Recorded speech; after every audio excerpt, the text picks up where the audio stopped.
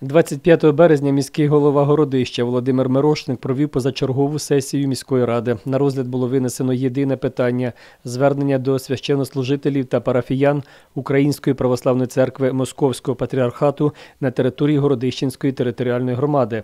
Депутати закликали священиків вжити невідкладних заходів зі зміни канонічного статусу храмів та виходу з російського підпорядкування, а парафіян не підтримувати московський патріархат.